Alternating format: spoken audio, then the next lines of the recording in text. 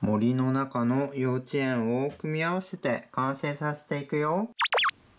まずは建物だね。建物を完成させていこう。この幼稚園の入り口とお部屋だね。これをここでこうやって組み合わせて、そして中は一つのお部屋にすることができたね。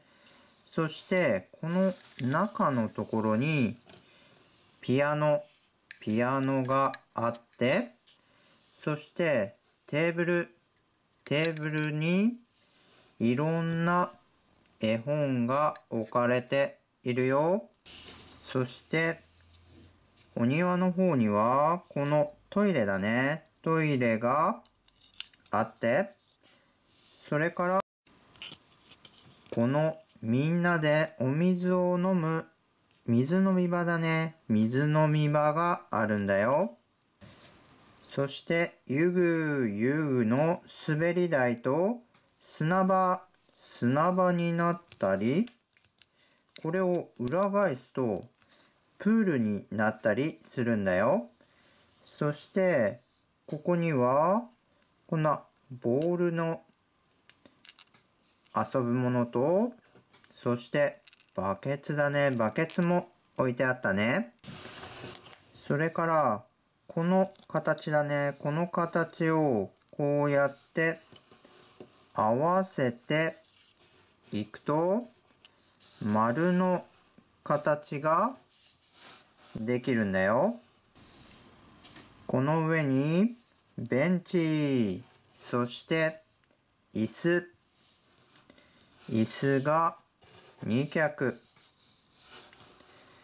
それから、こっちの方に、お花、お花が描かれた、これも、ベンチだね。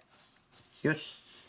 そして、このちっちゃな椅子も、あるんだよ。で、ここにショコラウサギの赤ちゃん、赤ちゃんが座っていて、そして、よし、シルク猫の赤ちゃんも隣に来たよ。そして、クルミリスの赤ちゃんと、それから、クマの赤ちゃんもいるんだね。